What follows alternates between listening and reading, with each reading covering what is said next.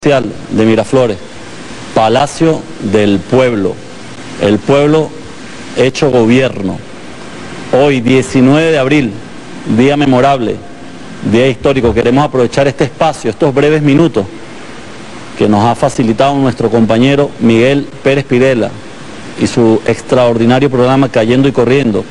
Está presentándole al país evidencias y verdades contundentes pero nos queremos referir a la jornada del día de hoy. Jornada memorable, les decía. Como hace 207 años exactamente, hoy el pueblo de Venezuela salió masivamente a reafirmar nuestra independencia y además a rechazar el intervencionismo, condenando a los cipayos nacionales y al puñado de traidores que casi 200 años después, intentan convertir a nuestra patria en una colonia imperial. Pero eso no sucederá. Todo lo contrario. Pudiésemos comparar la actividad de hoy con más de centenares y docenas de actividades, de marchas, concentraciones que hemos hecho en estos 18 años de revolución.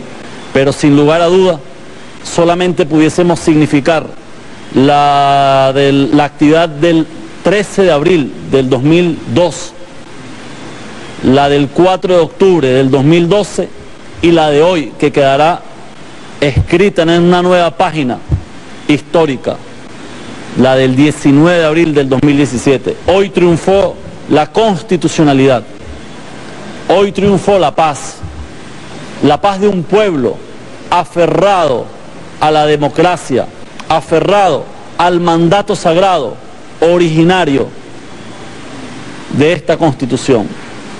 Hoy podemos decir, como saldo final, hemos logrado derrotar la espiral de violencia golpista que ha pretendido imponer esta derecha opositora, terrorista, entreguista.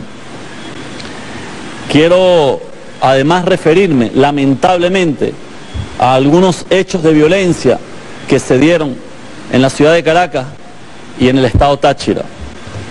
Hay un video, lo acaba de presentar el, compañero Miguel Pérez Pirella. Quisiéramos solicitar que lo vuelvan a colocar.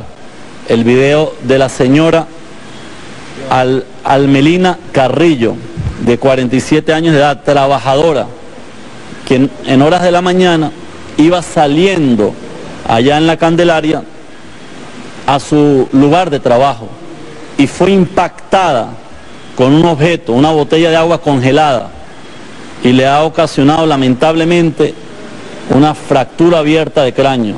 A esta hora la señora Almelina está siendo intervenida. Hacemos voto, aquí están las imágenes, fíjense en el momento, en la parte inferior de la pantalla, en el momento que sale la señora, ahí va, es impactada con un objeto lanzado desde un apartamento ya identificado. Fíjense, el impacto y la señora cae. Por fortuna, la señora está, está siendo intervenida, su estado es reservado y está viva. Y hacemos voto y rogamos a Dios por su salud y su recuperación. También el caso del joven Carlos José Moreno Padrón, de 18 años de edad, homicidio ocurrido en la avenida Nauco, en San Bernardino, cerca de la Plaza La Estrella. Ambos hechos ocurrieron a la misma hora, horas similares en esta mañana, pero inmediatamente, pero fue casi que simultáneamente, la derecha quiso y pretendió manipular estos dos hechos condenables, horribles, repudiables, para tratar de decir que se tratan de activistas militantes de la revolución bolivariana que cometieron tales hechos. La persona seguramente que lanzó ese objeto contra la señora Melina lo hizo porque le han incubado ese odio al pueblo que venía marchando en paz, a expresar el apoyo a la revolución bolivariana. Pero no es solamente él es el responsable directo, sino también el responsable es Julio Borges, que ha transmitido y ha sido recurrente en su mensaje de violencia, de odio, de intolerancia. Él también debe ser señalado, y así lo hacemos responsablemente, por estos hechos, por los mensajes de intolerancia, por empujar a un sector de venezolanos y venezolanas a confrontarse con otro sector de compatriotas. Nosotros siempre hemos respetado y reconocido al sector adversario. Pero esta derecha de dirigentes terroristas han conducido a su gente a la violencia fascista y es lamentable. También en el caso de la señorita Paola Andreina Ramírez Gómez, de 22 años de edad, hecho ocurrido en San Cristóbal, un homicidio, producto de un disparo de arma de fuego. Ya en el sitio están, tanto en el caso de Carlos Moreno como en el caso de Andreina, se encuentran comisiones del 6CPC haciendo el levantamiento, la planimetría, recabando elementos de interés criminalístico y vamos a dar con los responsables directos y los responsables indirectos.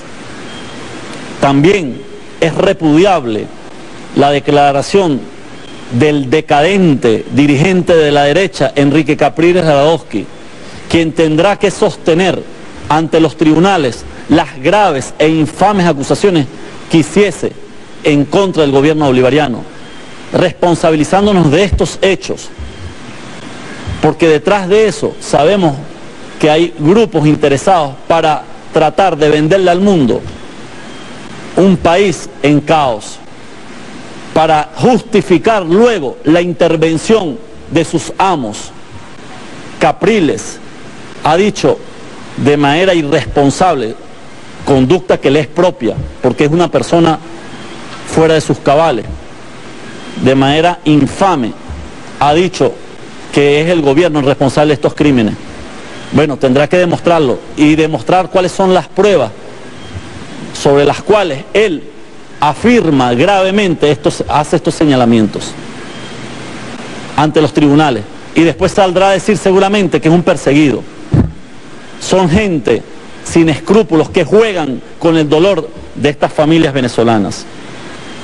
Pero también quisiera referirme al no menos decadente y vocero de la derecha, Freddy Guevara, que también hay videos que están rodando en las redes sociales donde él directamente dirige las operaciones de los encapuchados y luego dicen que no están con la violencia, que se tratan de protestas pacíficas.